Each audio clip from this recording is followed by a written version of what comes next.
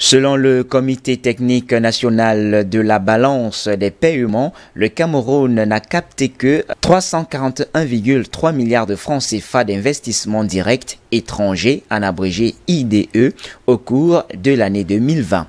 Ces IDE sont en baisse d'un peu plus de 185 milliards de francs CFA, soit moins 35% en comparaison avec l'année 2019, au cours de laquelle les IDE au Cameroun avaient atteint 527 milliards de francs CFA. Pour justifier cette baisse drastique, le Comité technique national de la balance des paiements met à l'index la pandémie du coronavirus dont les premiers cas se sont signalés au Cameroun à partir du mois de mars 2020.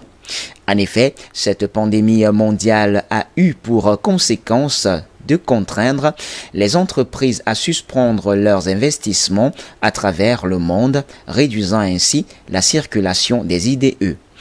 En rappel, depuis le début de l'année 2020, la Chine est le premier investisseur étranger au Cameroun.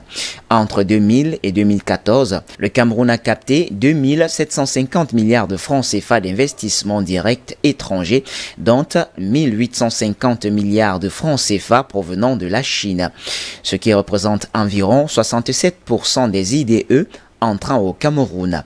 Les autres IDE provenaient des pays tels que la France, les États-Unis, le Nigeria, peut-on lire dans le document de la présidence de la République qui cite les données de la conférence des Nations Unies pour le commerce et le développement?